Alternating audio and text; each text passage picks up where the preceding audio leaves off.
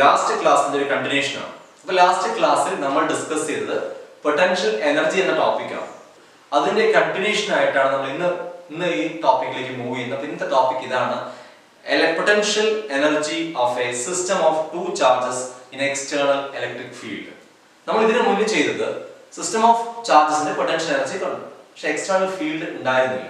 പക്ഷെ ഇവിടെ നമ്മൾ ചെയ്യാൻ പോകുന്നത് സിസ്റ്റം ഓഫ് ചാർജിനെ എക്സ്റ്റേണൽ ഫീൽഡിലാണ് നമ്മൾ അസംബിൾ ചെയ്യിപ്പിക്കുന്നത്. അപ്പോൾ ഇവിടെ നമുക്ക് കാണുന്നത് potential energy of system of charges in external electric field electric ഫീൽഡിലേക്കാണ് നമ്മൾ ചാർജുകളെ കൊണ്ടുവരുന്നത്. ആദ്യം നമ്മൾ കൊണ്ടുവരുന്നത് ക്യൂ എന്ന ചാർജ് കൊണ്ടുവരുമ്പോൾ അവിടെ വേറൊരു ചാർജിന്റെ പ്രസൻസ് ഓഫ് ഫീൽഡ് ഒന്നും ഉണ്ടായിരുന്നില്ല. പക്ഷെ ഇവിടെ അങ്ങനെയല്ല. ചാർജുകളെ കൊണ്ടുവരുന്നതിന് മുന്നേ തന്നെ അവിടെ ഒരു എക്സ്റ്റേണൽ ഫീൽഡ് അവിടെ സെറ്റപ്പ് ചെയ്തിട്ടുണ്ട്. അപ്പൊ അത് ആ ഫീൽഡിലേക്കാണ് ചാർജുകളെ കൊണ്ടുവരുന്നത്. പൊട്ടൻഷ്യൽ എനർജി കുറച്ച് വ്യത്യസ്തം വരും. അതെന്താണ് ആ ഡിഫറൻസ് നമുക്ക് നോക്കാം. അപ്പൊ അതിനുവേണ്ടി നമുക്ക് അതിൽ ഫീൽഡ് നമുക്ക് എക്സ്പ്ലെയിൻ ചെയ്യാം. ഒരു ഫീൽഡ് ഉണ്ട് വി ഹാവ് ഇലക്ട്രിക് ഫീൽഡ് ഒരു നോൺ യൂണിഫോം ഇലക്ട്രിക് ഫീൽഡ് ആ ഫീൽഡിൽ നമ്മൾ ക്യൂ വൺ എന്ന ചാർജിനെയും ക്യൂ ടു ക്യൂ ടു എന്ന ചാർജിനെയും നമ്മൾ കൊണ്ടുവയ്ക്കുകയാണ്. അപ്പോൾ ക്യൂ വൺ എന്ന ചാർജിനെ പ്ലേസ് ചെയ്യുന്നത് ആർ വൺ ഡിസ്റ്റൻസ് ആയി. അതായത് ആർ വൺ എന്ന് പറയുന്ന പൊസിഷൻ ഓ എന്ന റെഫറൻസ് പോയിന്റ് നിന്ന് ക്യൂ വണ്ണിലേക്കുള്ള ദൂരം ആർ വൺ ആണ്. ഇനി ക്യൂ ടു എന്ന ചാർജ് പ്ലേസ് ചെയ്യണം. അത് reference point r two distance അകലെയാണ്. ഇനി ക്യൂ വണ്ണും ക്യൂ ടുവും തമ്മിലുള്ള ഡിസ്റ്റൻസ് ആർ വൺ ടു ആണ്. അപ്പൊ ഇതാണ് സിസ്റ്റം ഈ സിസ്റ്റത്തിന്റെ പൊട്ടൻഷ്യൽ എനർജിയാണ് നമുക്ക് കാണേണ്ടത്. അപ്പൊ നമുക്കറിയാം ആദ്യം ക്യൂ വൺ കൊണ്ടുവരണം. പിന്നെ ക്യൂ ടു കൊണ്ടുവരണം. അപ്പൊ ഇവിടെ ശ്രദ്ധിക്കേണ്ട ഒരു കാര്യം നമ്മൾ ആദ്യം ക്യൂ വൺ കൊണ്ടുവരുമ്പോൾ വർക്ക് ഉണ്ടായിരുന്നില്ല. കാരണം അവിടെ ഫീൽഡ് ഉണ്ടായിരുന്നില്ല. പക്ഷെ ഇവിടെ അങ്ങനെയല്ല. ഒരു ഫീൽഡ് ഉണ്ട്.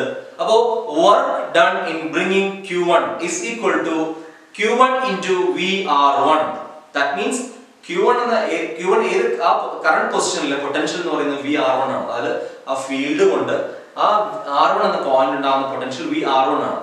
അപ്പോ ഡബ്ല്യു ക്യു വൺ എന്ന ചാർജിനെ കൊണ്ടുവരണമെങ്കിൽ ഡബ്ല്യു വൺ എന്ന വർക്ക് എന്ന് പറയുന്നത് q one V r one ആണ്. അപ്പൊ ദാറ്റ് മീൻസ് പ്രീവിയസ് ടോപ്പിക്കിന് വ്യത്യസ്തമായ ഒരു കൺസെപ്റ്റ് വരുന്നത്. പ്രീവിയസ് ടോപ്പിക്കിൽ ക്യു വൺ കൊണ്ടുവരാൻ നമുക്ക് വർക്കിന്റെ ആവശ്യം ഉണ്ടായിരുന്നില്ല. കാരണം അവിടെ ഫീൽഡ് ഉണ്ടായിരുന്നില്ല. പക്ഷെ ഇവിടെ ഫീൽഡ് ഉള്ളത് കൊണ്ട് ആ ഫീൽഡിന് എഗൈൻസ്റ്റ് വർക്ക് ചെയ്യണം. ആ പോയിന്റിലെ പൊട്ടൻഷ്യൽ എന്താണോ അതിന് എഗൈൻസ്റ്റ് ആണ് വർക്ക് ചെയ്യേണ്ടത്.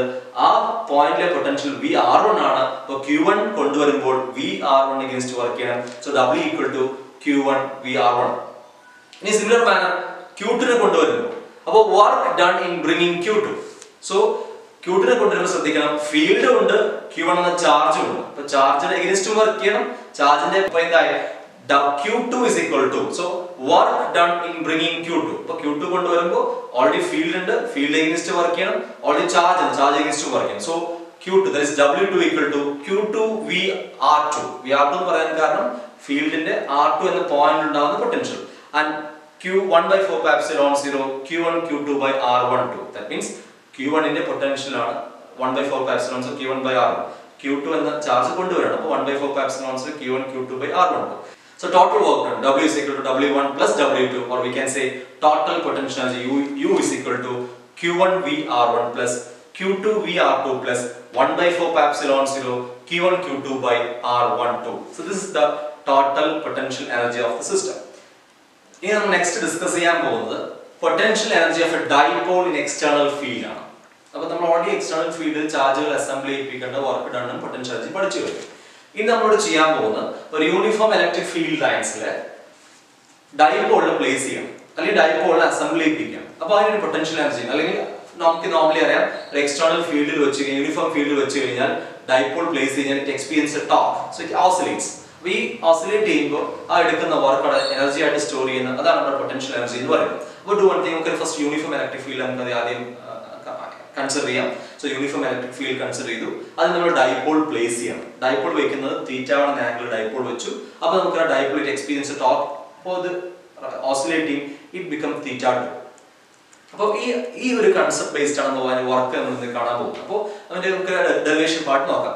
കൺസിഡർ ഡൈപോൾ ഹാവിംഗ് ഡൈപോൾ മറ്റ് P is placed in external field E, making an angle theta. The torque acting on the dipole is tau is equal to P sin theta. കാരണം torque നമുക്കറിയാം P cross E ആണ്. So it is P sin theta. So the torque acting is P sin theta. Let the dipole is turned through a small angle of d theta against the torque. The work done is equal to small work done dw is equal to tau d theta.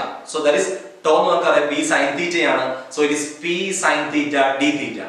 Or total work done കാണണമെങ്കിൽ the work done in rotating the dipole from theta 1 to theta 2 this w is equal to integral theta 1 to theta 2 tau d theta. That is equal to tau we have already know that p sin theta ആണ്. So integral theta 1 to theta 2 p sin theta d theta. ഇനി നമുക്കറിയാം sin theta integrate ചെയ്യാൻ നമുക്ക് കിട്ടുന്നത് minus cos theta ആണ്. ഇതിൽ P P dipole moment ആണ് uniform electric field രണ്ടും കോൺസ്റ്റൻസ് ആണ് ഇന്റഗ്രേറ്റ് ചെയ്യുമ്പോൾ കോൺസ്റ്റൻസ് എടുത്ത് പുറത്ത് വെക്കുക So P take it outside. So P integral sin theta d theta become minus cos theta. So PE cos theta limits under theta 1 to theta 2. So that is equal to minus PE cos theta 2 minus cos theta 1. അപ്പോൾ നമ്മളൊരു arbitrary angles നമുക്ക് ഈ ഒരു angle എന്ത് ചെയ്യാം specify ആയിട്ട് ഒരു particular angle ആയിട്ട് കൊടുക്കാം അപ്പൊ അതിന് മുന്നേ the work done is stored in the dipole as the potential energy എടുക്കുന്ന വർക്ക് ആണ് അതിന്റെ പൊട്ടൻഷ്യൽ എനർജി ആയിട്ട് സ്റ്റോർ ചെയ്തിരിക്കുന്നത് so the potential energy u is equal to p cos theta 1 minus theta 2 നമ്മൾ ആ ലിമിറ്റ്സ് അങ്ങോട്ട് ചേഞ്ച് ചെയ്യണം അപ്പോൾ മൈനസ് എന്താവുന്നു പ്ലസ് ആയി so the equation become p cos theta 1 minus theta 2 ഇനി നമ്മൾ ഒരു ആർബിട്രറി ആംഗിൾസ് കൊടുക്കാം suppose the dipole is initially at right angles to the electric field and rotates through an angle theta. So then theta 1 is 90 and theta 2 is theta. So u is equal to p cos 90 minus cos theta. Cos 90 നമുക്കറിയാം it is 0 ആണ്. So equation become minus pe cos theta. So the potential energy u is equal to pe cos theta എന്ന് പറയുന്നത് p dot e. So potential energy u is equal to minus p dot e. ഇതാണ് energy of a dipole placed in external field എന്ന് പറയുന്നത്.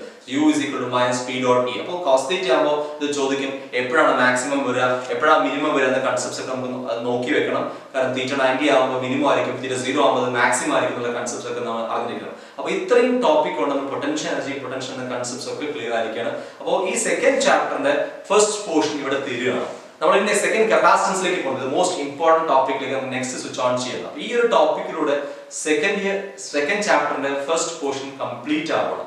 Potential potential energy എന്ന concept അപ്പോൾ ഈ പൊട്ടൻഷ്യലും potential എനർജിയും കറക്റ്റ് വേർതിരിച്ചറിയുന്നതോടൊപ്പം തന്നെ ഡൈപോളിന്റെ പൊട്ടൻഷ്യൽ എനർജി അതുപോലെ എക്സ്റ്റേണൽ ഫീൽഡ് വയ്ക്കുമ്പോൾ ചാർജുകളുടെ പൊട്ടൻഷ്യൽ എനർജി എന്താണെന്ന് വേർതിരിച്ച് അറിയാൻ കഴിയുമെന്ന് മനസ്സിലാക്കുന്നു. Okay thank you